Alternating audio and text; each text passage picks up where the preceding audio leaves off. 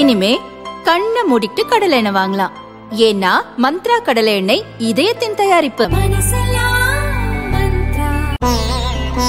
தினம்தோறும் விளக்கேற்ற நல்ல எண்ணெய் இதயம் நல்லெண்ணெய்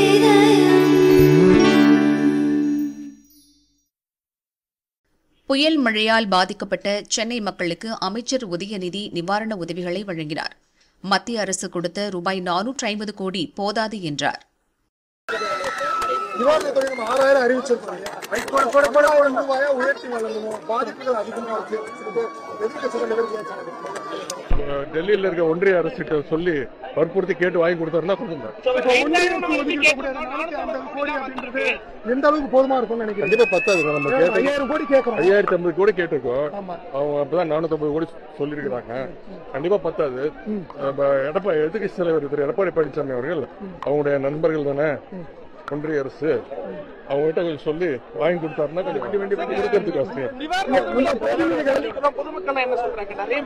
நீங்க பொதுமக்கள்கிட்ட கேட்டுக்கோங்க. அவங்க தான் இங்க ஆயிரக்கணக்கில் உட்கார்ந்துருக்காங்க நான் எதுக்கு அவங்களுக்காக சொல்லணும்?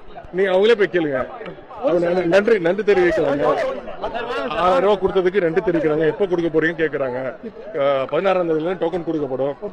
இன்னும் ஒரு ஒரு பத்து நாள்ல முழுசா கொடுத்து கொடுத்துருவோம். மீண்டும் டெல்லியில் இருக்கக்கூடிய ஒன்றிய அரசு நம்ம பிரதிநிதிகள் சந்திச்சு கூடுதல் தொகைக்காக கண்டிப்பா வாய்ப்பு இருக்கா.